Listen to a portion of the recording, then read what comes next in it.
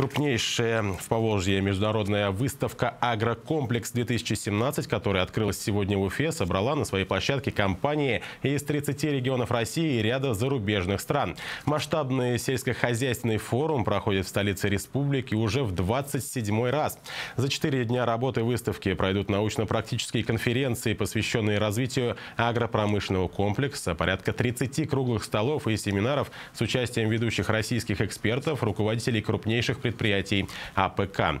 Участники форума ознакомятся с современными образцами техники и оборудования. Отмечу, что 60% сельхозпродукции региона производят личные подсобные хозяйства, их развитие названо одним из приоритетных. У нас целый ряд э, очень серьезных мероприятий, связанных не только с самим сельским хозяйством, но и с подготовкой кадров, с вопросами развития кооперации, без чего невозможно дальше, мы считаем, двигаться, особенно для Республики Башкортостан. У нас сегодня так сложилось, что структура хозяйствования в АПК у нас в основном малый и средний бизнес. А без совместной работы, наверное, мы не сможем двигаться вперед.